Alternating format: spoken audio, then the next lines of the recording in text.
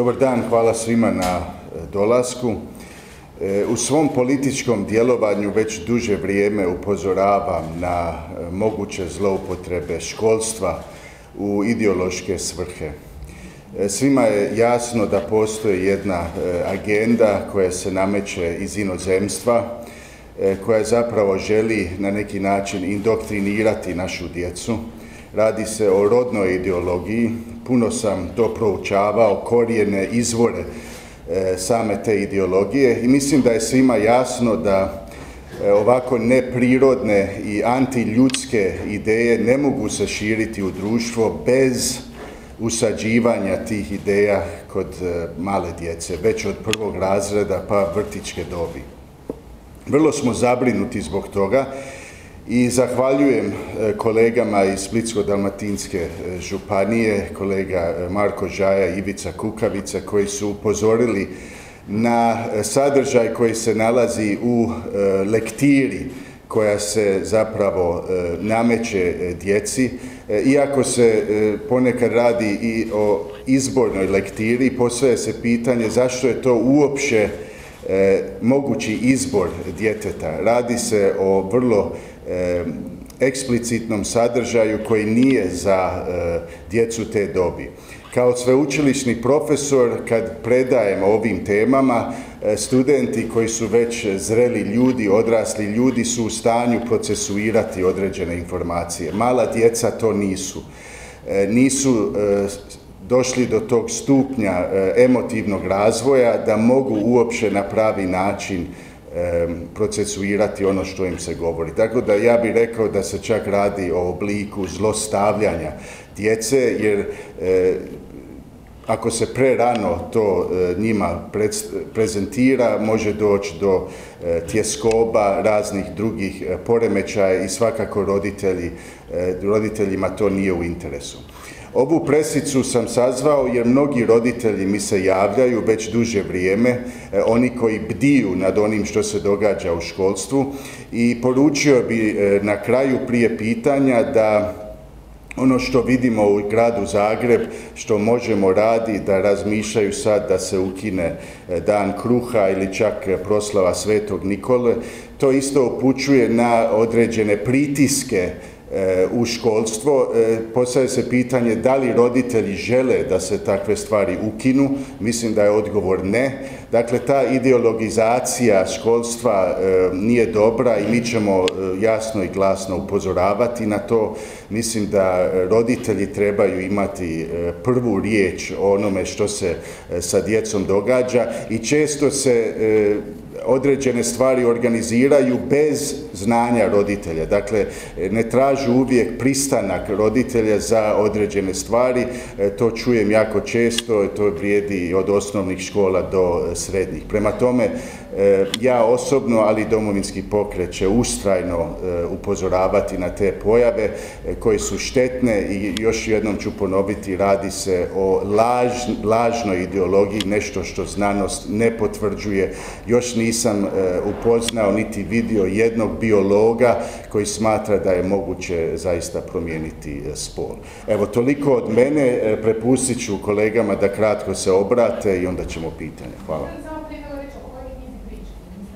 Evo, o lektiri, evo kolega će, će ovaj, detaljnije objasniti.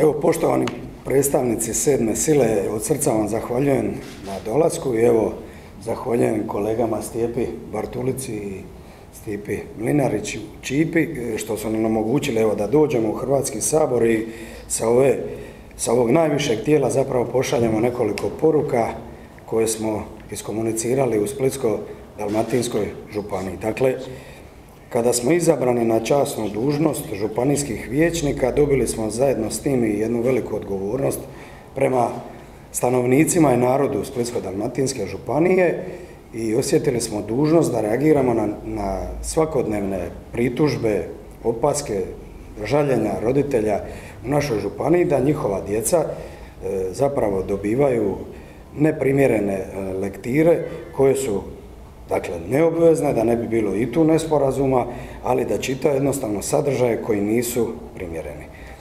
U posljednje vrijeme, nakon što smo postigli ovu jednu, rekao bih, zaista veliku političku pobjedu gdje smo u Splitsko-Dalmatinskoj županiji uspjeli donijeti ovakav zaključak koji je upravo ispred mene. E, pojavili su se razni napisi i po medijima kao da je ovo nekakva vrsta e, ideološkog džihada i ne znam kakve sve ostale ovaj, epitete smo dobili, međutim, ovaj, ja bih na to kratko rekao. Kao prvo smatram da politika bez ideologije i ne može postojati. Mi ne bježimo od svojih ideala i od svoje ideologije i od našeg svjetonazora. Domovinski pokret je jasno izrazio sve svoje stavove po tom pitanju, međutim ovdje definitivno se ne radi o nikakvoj e, ideološkoj borbi, nego se radi o osnovnim civilizacijskim normama i stvarima koje jednostavno se ne bi smjele događati u našem društvu. Lektire koje smo dobili na uvid, i osobno smo kolega Ivica Kukavica i ja išli u knjižnicu i nabavili smo te e, knjige bez ikakvih problema. To što smo mi tamo pročitali, čitali smo vijećnicima koji su ostali u vijećnici, dakle jednoglasno smo naravno dobili podršku za ovaj zaključak. Kolega Kukavica će o tom tehničkom dijelu nešto više kazati. Vjerujte mi, u tim danima dok smo čitali te e, knjige, bilo je mučno. Bilo je mučno iz razloga što se tamo spominju sadržaji koji definitivno nagrizaju temelje društva i kako sam rekao malo prije, to je jednostavno jedno civilizacijsko pitanje. Kolegica je...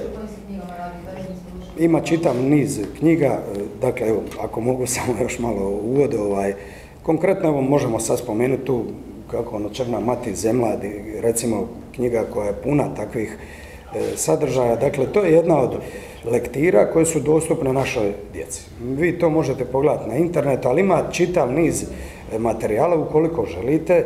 E, kolege koji rade u našoj, službi za informiranje mogu vam poslati čitav niz naslova koji su sporni i gdje možete e, vidjeti sve te konstatacije koje su jednostavno neprimjerene, ne rekao bih samo djeci, nego i odraslima. To su stvari koje ne bi smjele biti u društvu, pogotovo ne bi smjele biti u obrazovnom sustavu i mislim da je to nešto gdje moramo svi biti zajedno i gdje se treba jasno podvući crta iza koje se ne smije ići. Jer mislim da, je, da su naša djeca, naša budućnost i da moramo stati u njihovu obranu, pošto oni to definitivno sami ne mogu. Evo, ja bi toliko za početak, ukoliko bude još nekih pitanja, stojimo na raspolaganju. Sad, kolega Kukavica će malo oko tehničkog detalja.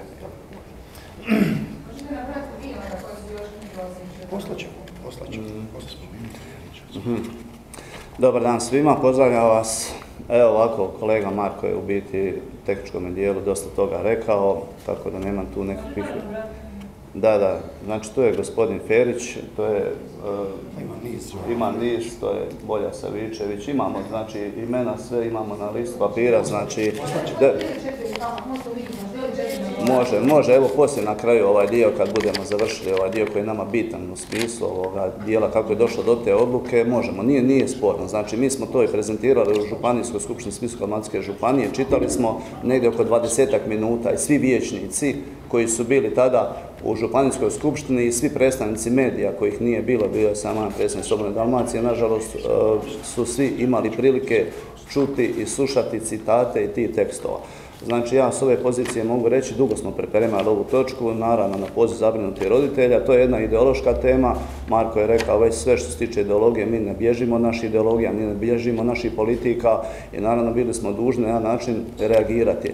Ja se iznimno ponosan i zadovoljan što je to prepoznato, što su, evo, i županijski HDZ, i županijski HSLS, i županijski HSP i HGS podržali tu ideju što su došli na tu točku jer je puno bilo obstrukcije te točke kroz medije lokalne, a i šire, da uopće ta točka ne bude na dnevnom redu. Znači sve političke opcije koje nisu prisustovale toj točki, točci kad su izišli, to prvenstveno mislim na SDP i centar i koalicija, znači cijela za, e, most, svi su izišli, ja bih volio da sam njih vidio, sve političare i da su oni rekli svoje mišljenje o tome kako god bilo. Znači, tu je bilo jedno mjesto gdje smo mogli raspraviti ovu temu, ali evo, na kraju ostalo je samo jedna grupacija i donijeli smo tu odluku. Što se tiče samih tekstova, ja vam opet kažem, upozoravam, bilo je stvarno ružno i gnjusno, mi smo u Županijskoj skupštini se pripremili da čitamo te tekstove, u ovome domu nismo baš išli za tim da se te sve čita, mi možemo dati vam te tekste, vi ćemo sigurno poslati kogo bude želio, jer ovo su stvari koje smo mi izvukli iz tih lektira. Evo, znači sada samo mogu reći da sam ponosan na taj dio što smo uspjeli u Županiji Splisko-Dalmatinskoj, jedna najvećih županija, donijeti ovakav zaključak, to se tiče u biti preporuka, odmah da definiramo jedan pojam što sam vidio često u medija, zabrana. Nema zabrane. Na razini Županije Splitsko-Dalmatinske ne donose se zakoni. Zakoni se donose u Sabor Republike Hrvatske. Mi smo dali preporuke kao osnivač Županija Splitsko-Dalmatinska školama koje su u Županiji Splitsko-Dalmatinskoj osnovni srednji da te eventualne materijale koje su opticaj ne koriste mi ne možemo zabraniti. To može samo Sabor Republike Hrvatske zabraniti. Ali evo, ponosan sam na to što smo mi načeli tu temu i poslali smo jednu informaciju od našem zaključku prema Agenciji za odgoj i obrazovanje. Evo, to je onaj dio koji smo mi uspjeli napraviti i to je ono su čim se mi ponosimo. Marko, demo.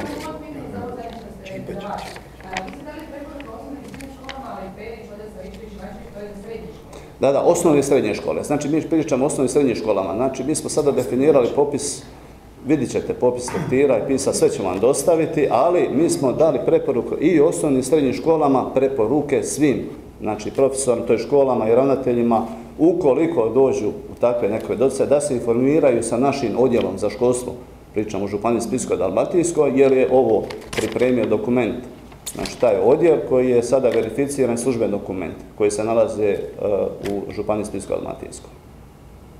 Može da Lijepi pozdrav svima. Evo ja ću vam reći koji su knjige, ali neću vam pročitati. Ako, ako inzistirate, ja ću vam i pročitati, ali mislim da ovo nije, da ovo nije za medijski prostor što bi vam pročitao iz tih knjiga jer je debutantno. Vjerujte mi, e, slušat silovane žene u logoru i čitati ovo znak jednakosti znak jednakosti. Ovdje se radi o djeci od deset godina gdje ih se govore da su zrele za silovanje. Mislim da, a i puno gori stvari. Od dijela koje su Haruki, Murakami, Kafka na žalu, Kristijan Novak, Črna mati zemla, opet Kristijano, onda Zoran Ferić, Mišolovka,